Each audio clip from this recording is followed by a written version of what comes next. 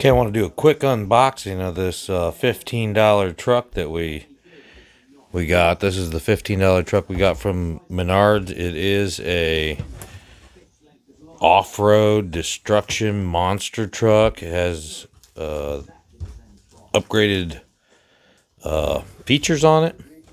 Oversized tires, extended battery. It's 2.4 uh, left and right. Has shock absorbers. It is a 118th scale. It says off-road series, and it says high-speed drift. So this was only $15 at Menards. Uh, we're going to do a quick unboxing so I can get this battery on charge.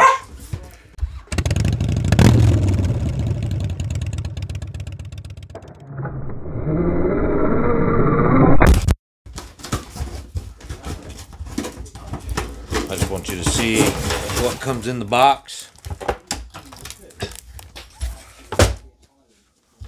Got some mud. Got uh, Envisionary Toys, thanks. Dear customer. And support email. Alright, here's the truck. Let's get this out of here.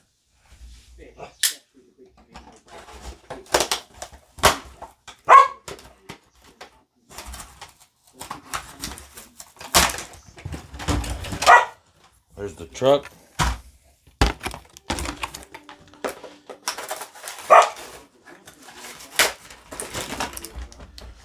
There's the controller. Supposed to be an antenna. Is this the antenna?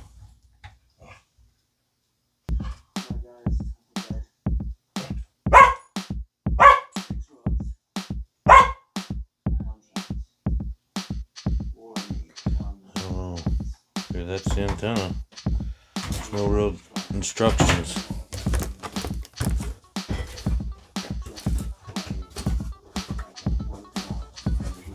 Here's what the bottom shows. Got your little left and right uh, adjustment for your steering. Lithium ion just clicks together. We're gonna do some uh, modifications to this, whatever I can do. Uses two AA batteries, not included. It comes with the lithium lithium ion. So the controller you gotta put AA batteries in. Yeah, unscrew that.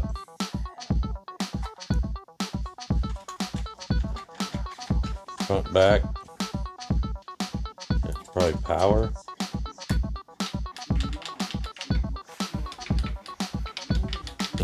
Got steering here. Kind of weird. Not great. But we'll compare this to uh, to the two RCs we have and see what the difference is. Not independent suspension. Looks like the suspension the suspension is. Let's take these off.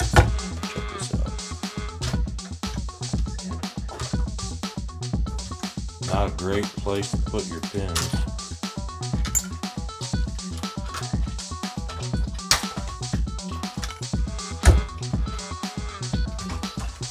I'll try to mount a GoPro or something on here. They just screwed a roll cage on.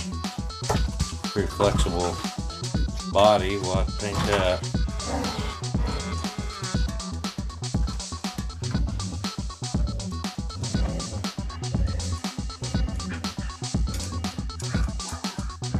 Independent suspension in the front, and then the whole back suspends like this.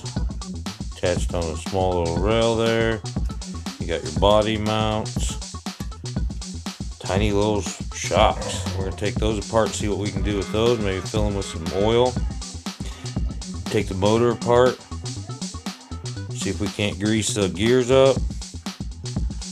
Maybe put some dielectric grease in here. Maybe try to get this a little waterproof. See what we can do. Tires are just screwed in. They're not foam filled, they're just hollow. Plastic, not rubber. So not a lot of grip, that's why it's going to drift.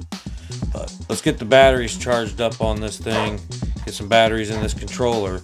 And uh, I'll compare this to the two RCs we have. And then I'll uh, compare this stock and see what it does. And then we'll uh, modify it and see what if it does any better. We'll do some time trials and stuff. All right, stick around. Okay, so to get the battery out, you just undo this screw and there's a little. Oh, isn't that cute? A little lithium ion battery. Just flopping around in here. Nothing to hold it or anything. But looks like there's plenty of room for more. Got a two prong hookup. You see that?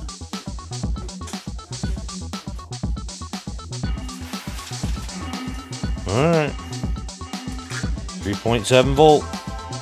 They give you this little USB charger. You just plug the battery in here. We're to try this all stock before we do anything to it, so we're to get this charged up. We'll be right back. You can clearly see there's a red light on the USB plug, and I imagine that'll shut off or turn green when it's charged. Alright, so it hasn't even been a maybe a half an hour, see the lights turned off, so I imagine that is charged. Again, there's no real directions, but there is a support number if you need it. All right, so we're gonna get some uh, batteries in here, and uh, I already put some rechargeable Energizer batteries in here, and there's no on or off button. But as soon as you touch something, it searches for a signal. So I imagine once it connects, otherwise it just shuts off. Let's take this cover off. And we're gonna just put it in the way it is. We'll make modifications later. So looks like the prongs are on this side, so we want to line up the holes. Not a whole lot to hold on to. Alright, snapped right in. Just put this in there, I guess. There's nothing to hold it.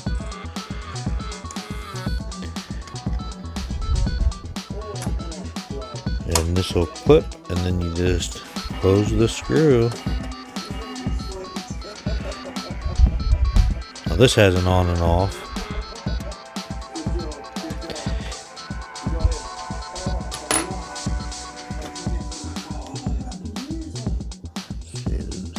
It's off.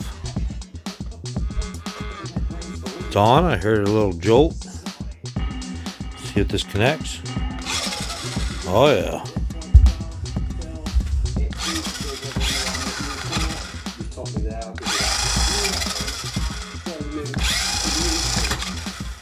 Alright, seems to work. Two wheel drive.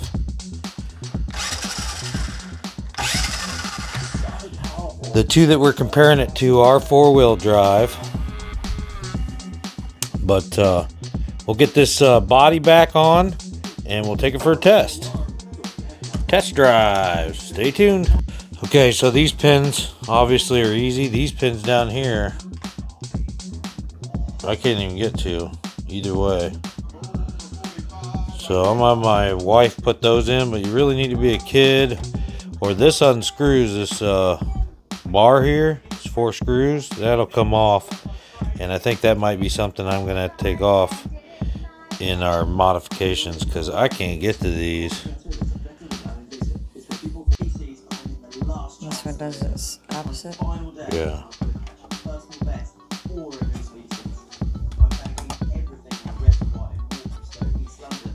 All right, guys, we're just going to do a real quick test run.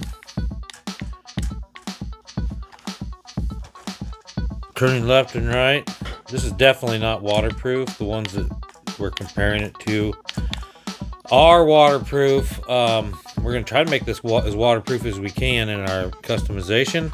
Um, but two, this one's $15. The 110 scale that we're going to show you is uh, $60. And the one fifth scale, scale I think it is. Maybe, maybe not. Don't quote me on that. but we'll check it out. Uh, is about 100, 100 110 dollars. So that's the price comparison, and you'll see the size difference. But left, right, reverse, forward. All right, let's see if it drifts.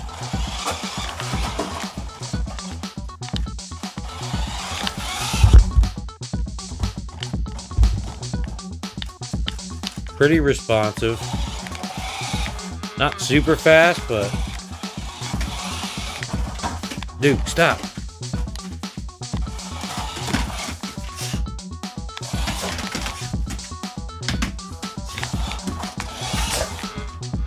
Stop. Go. Sits. He's not hurting you. No wheelies though.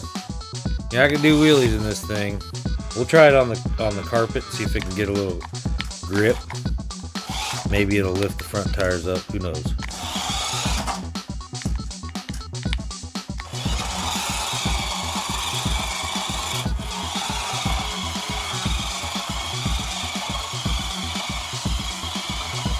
Does donuts. See if it'll do reverse donuts.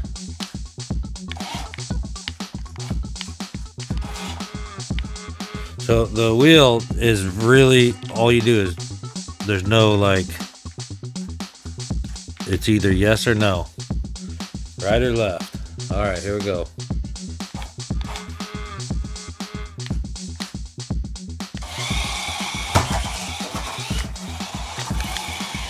Has a hard time doing reverse wheelies or donuts because it is all your powers in the back.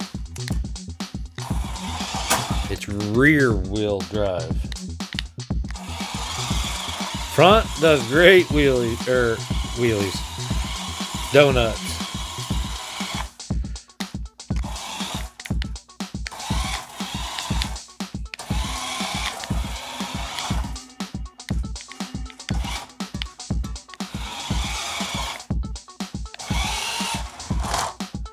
All right, let's give it some obstacles to drive over and maybe let it jump a ramp, see what it does. Okay, so we got a little micro obstacle course set up, so, you know, a little USB drive, tetrabyte, and some some other stuff. A little ramp we're gonna try to jump over. We're just gonna see if it can crawl over this stuff.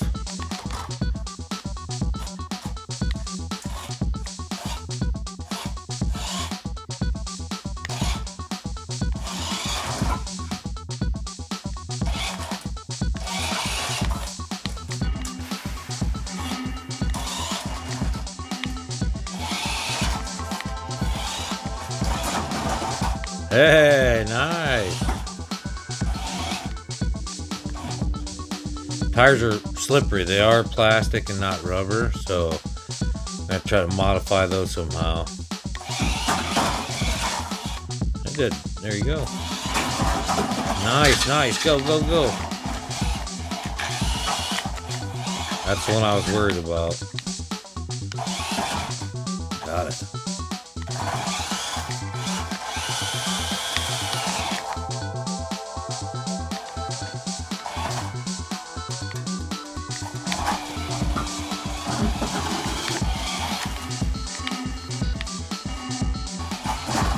Got it. All right, let me set this ramp back up see what we can do.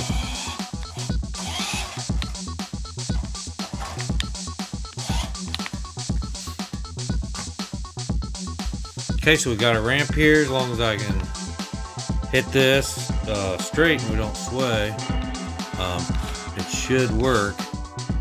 The ramp is basically as wide as the truck is, so we gotta line this up perfectly. Alright. He, he likes to spin.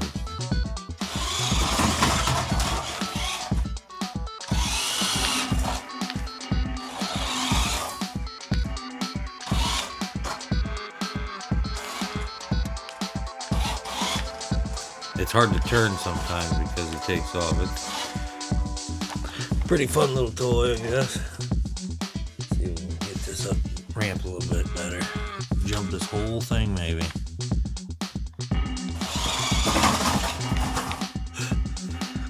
So there you go. It's got some fun. I mean, for 15 bucks.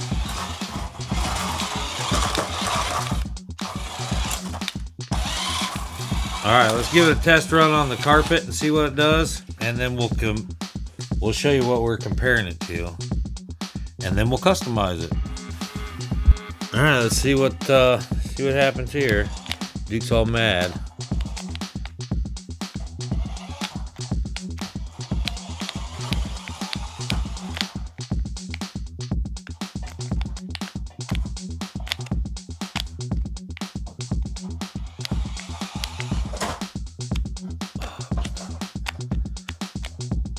Two-wheel drive does pretty good. Oh, climbed right out of that. Nice. It's even got some power. I mean, for its size. Uh-oh. Oh, got out of that too. Oh, might be done now.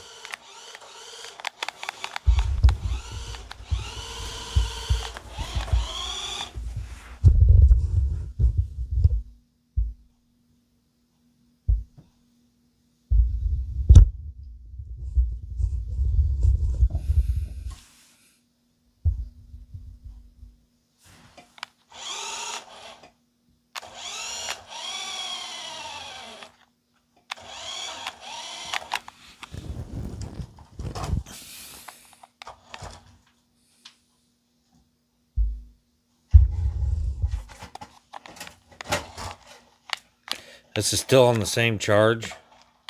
I want to add.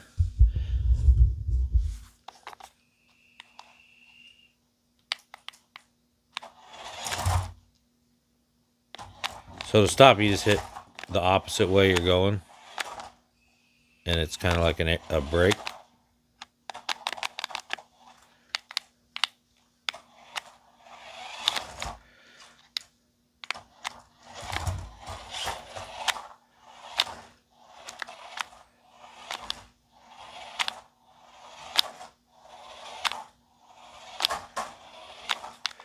Do a donut on the carpet.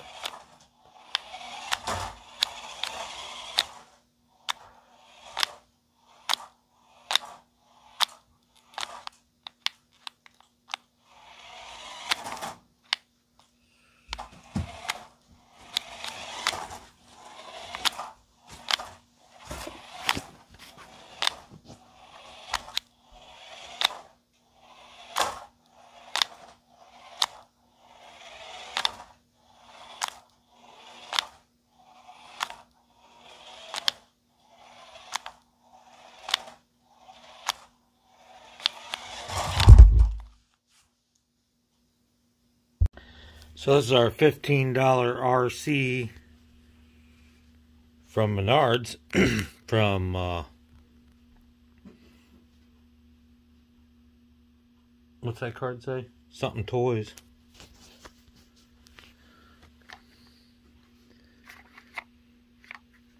And they asked for feedback. So there's the remote. And uh, here's our Bezgar one fifth scale, I think. 2.4 gigahertz remote. And here's the Laegendary that we've modified and customized. Now these two are four-wheel drive. Uh, both are waterproof.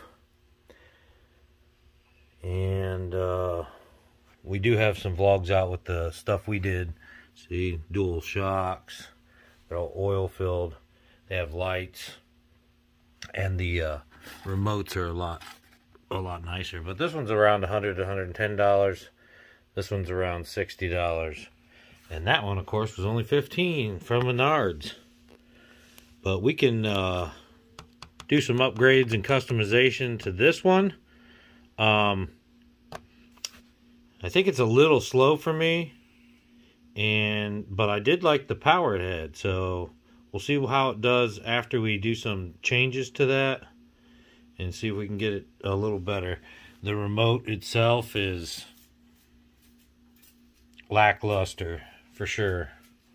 But definitely a great little car for 15 bucks and uh, for someone to start out. Uh, it's a lot better than the um, conventional uh, RC cars that they had out for years. It does have the independent shocks. It has the 3.4. You can uh, customize it if you're, you know, if you probably an advanced person could customize it. I wouldn't say the everyday Joe could customize it, but there are some things you could do to it uh, because the body comes off. You could paint it and things like that. Uh, the tires just unscrew. So, yeah, definitely a fun little toy for 15 bucks. And if you got a little guy wanting to start in RC uh, cars and you're not sure how much he's going to uh, be into it, check out the $15 RC car from, and I'll put the link up here because I still have no idea what the name of that place of the maker is. But I will put the name up here and a link uh, where you can find your own if you don't find them in your Menards or you don't have them Menards near you. Stay tuned and we'll do some more, uh, be a little series of RC stuff with this guy. Maybe some of these guys. Well, we hope you enjoyed this, and at the very least, we hope it inspires you to go get your own little RC and mess around with it, or get one of your RCs out of the shelf and dust it off and play with it. So hit that like button, hit the subscribe button if you haven't already. Share this out with your friends, guys. We'll see you next time. Peace, y'all. Let's sing all them songs from a long time ago.